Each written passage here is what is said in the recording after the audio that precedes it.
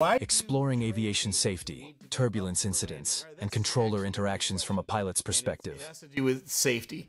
Now, first of all, you don't need your tray table down for landing, but if you felt the need to keep it down, if you had to get out of that airplane in an emergency, like everybody's got to get out, and by the way, the FAA standard is everybody out and down the slides in 90 seconds or less, and that's using only half the slides that are available. That's a pretty ambitious goal. If you've got to raise every other tray table to get out of your aisle, to get into the aisle, to jump into the slides, guess what? That's going to be an impedance to your progress. It's safety. That's why we keep the seatbelts up and they keep the seat forward.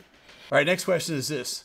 Uh, Juvie Live or Juvie Live, uh, can turbulence flip an airplane upside down or cause serious damage to a plane? Uh, I've never known it to turn an airplane upside down. I suppose in theory it probably could. I just don't know of an instance where it ever has. Uh, can it cause damage to an airplane? Oh, absolutely. Uh, worse than that is flying through either a thunderstorm or hail. That causes a lot of damage, but that's the most severe type of turbulence.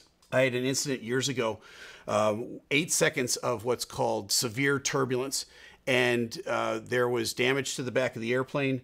Uh, and uh, there was everything came out into the aisles. Seven people were hurt altogether, and it was the seven people that hadn't buckled their seatbelt, as I had told them. I had turned the seatbelt sign on, and then we had said to everybody, "We're going to have some bumps up ahead. Please make sure your seatbelt is fastened." Uh, seven people got hurt, not seriously, but they did get hurt.